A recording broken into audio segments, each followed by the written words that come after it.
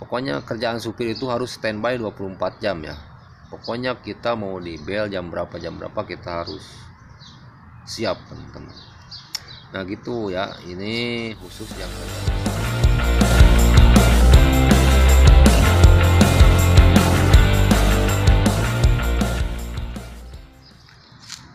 Assalamualaikum warahmatullahi wabarakatuh Oke teman-teman berjumpa lagi bersama saya Abdurrahman TKI Arab Saudi. Oke gimana kabarnya hari ini teman-teman? Semoga teman-teman dalam keadaan sehat walafiat Dan selalu ada dalam lindungan Allah subhanahu wa ta'ala. Amin ya Allah ya Rabbal Alamin. Oke teman-teman di video kali ini saya akan uh, sedikit berbagi pengalaman ya. Selama saya tinggal di Arab Saudi ya uh, sudah lumayan cukup lama ya menurut saya teman-teman. Di sini saya akan uh, berbagi pengalaman ya. Uh, tidak enaknya fakta-fakta ya. Tidak enaknya tinggal di Arab Saudi. Oke ini bukan ini ya. Ini teman-teman yang mau kerja ke Arab Saudi, yang mau studi atau yang mau belajar ya. Eh, bagi teman-teman yang mau kerja ke Arab Saudi ya eh, atau bagi adik-adik yang mau kuliah ke Arab Saudi ya.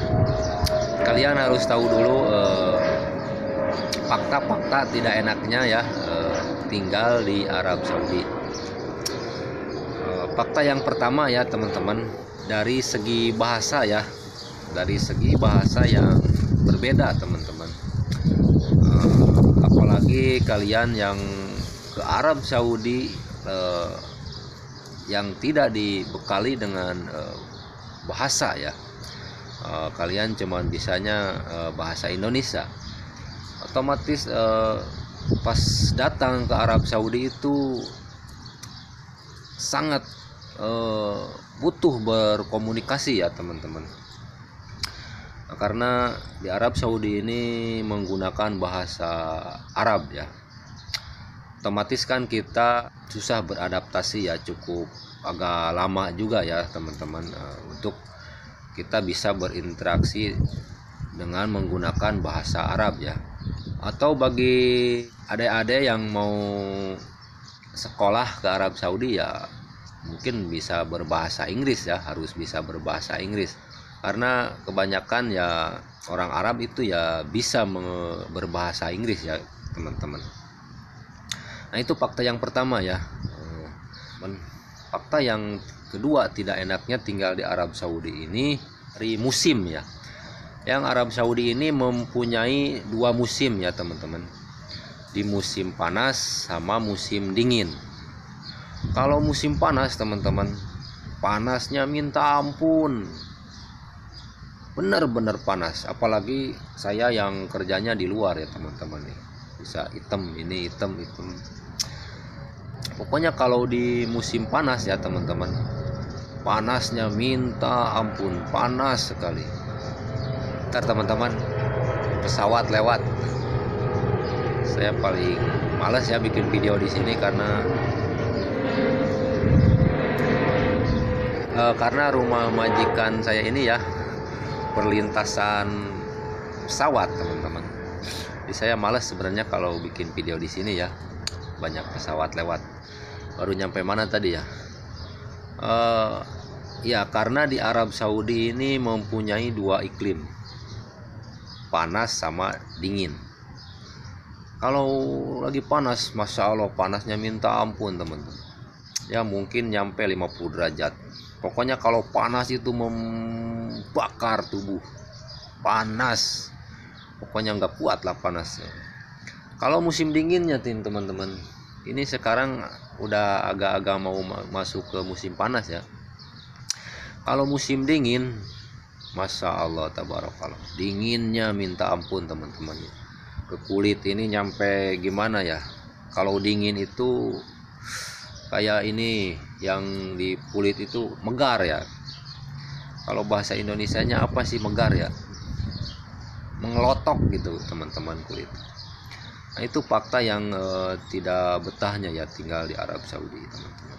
Terus fakta yang ketiga ya teman-teman, uh, jangan sekali merokok sembarangan di luar ya atau di jalan-jalan umum ya nggak boleh ya teman-teman uh, di Arab Saudi nggak boleh merokok sembarangan. Nanti kalau teman-teman ketahuan uh, merokok sembarangan dan ketahuan sama taptis ya, taptis itu polisi ya teman-teman. Uh, nanti teman-teman bisa dikenakan denda ya sekitar 100 real ya 100 real itu berkisar kalau dikruskan rupiah ya sekitar 300 ribu lebih lah ya teman-teman. Terus yang keempat eh, jangan sekali-sekali menggunakan eh, kamera.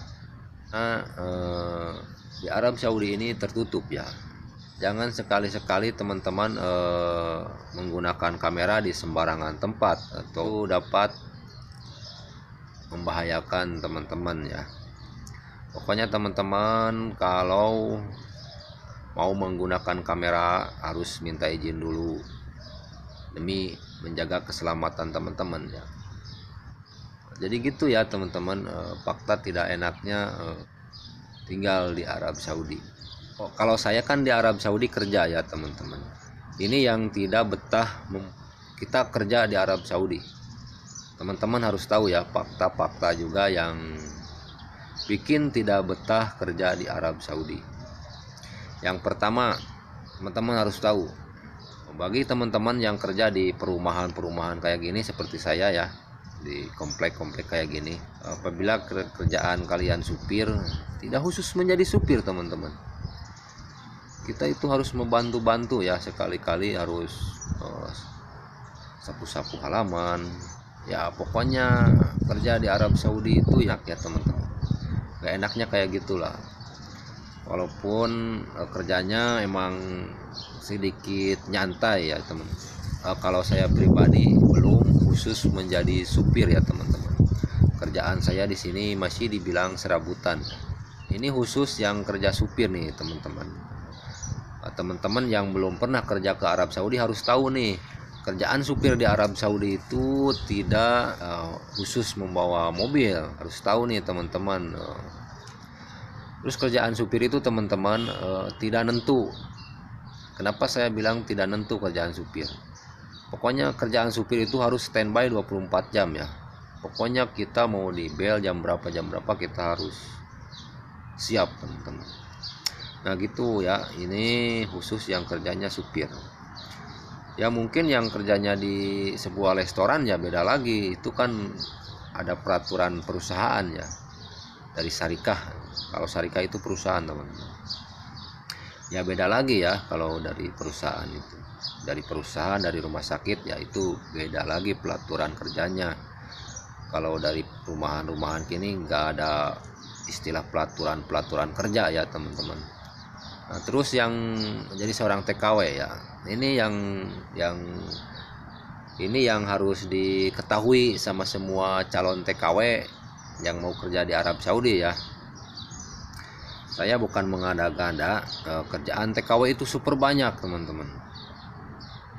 Saya bukan mengada-gada ya, karena saya sering eh, melihat ya teman-teman TKW yang kerja di sini.